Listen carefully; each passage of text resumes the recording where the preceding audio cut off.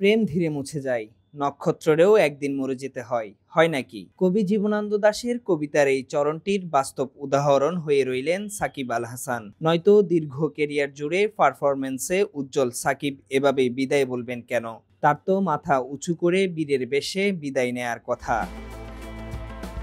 বর্তমানে আলোচনা সমালোচনার তুঙ্গে রয়েছেন সাকিব আল হাসান। এরই মাঝে দিলেন এক বিস্ফোরক খবর। অক্টোবরে ঘরের মাঠে দক্ষিণ আফ্রিকার বিপক্ষে টেস্ট সিরিজ খেলে সাদা পোশাকের ক্রিকেটকে বিদায় জানাবেন বিশ্বসেরা এই অলরাউন্ডার। সেই সঙ্গে টি টোয়েন্টিতেও নিজের শেষ ম্যাচ খেলে ফেলেছেন বলে জানিয়েছেন তিনি।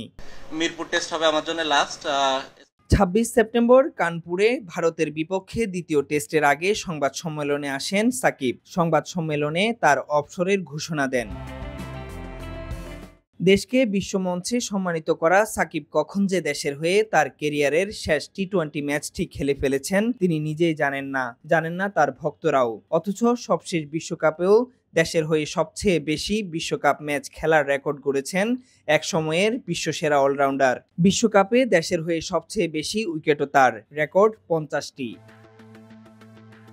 দেড় যুগের লম্বা কেরিয়ারে টি টোয়েন্টি ফরম্যাটে একশো উনত্রিশ ম্যাচে দুই হাজার পাঁচশো একান্ন রান করেছেন সাকিব। একশো একুশের বেশি স্ট্রাইক রেট আর তেইশ দশমিক এক আট গড় বাংলাদেশের সাপেক্ষে তাকে রাখবে উপরের দিকেই। বল হাতে এই ফরম্যাটে পুরো বিশ্বে অনেকটা দিন ছিলেন শীর্ষ উইকেট শিকারী। শেষ পর্যন্ত থেমেছেন একশো উনপঞ্চাশ উইকেটে। প্রায় প্রতি একুশ রানে একটা করে উইকেট পেয়েছেন তিনি। বাংলাদেশের পক্ষে টি টোয়েন্টিতে সর্বোচ্চ রান ও উইকেটের মালিক তিনি।